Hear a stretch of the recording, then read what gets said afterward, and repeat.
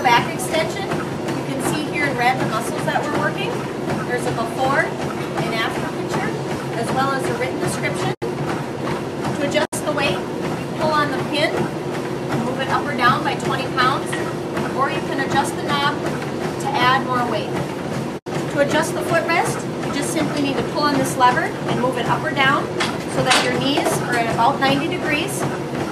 Then you adjust this lever for range of motion can back it up or move it more forward. From this position, you then just drive the weight back until you feel your back roll up onto this blue pad. And then come back and repeat this movement for two sets of 10.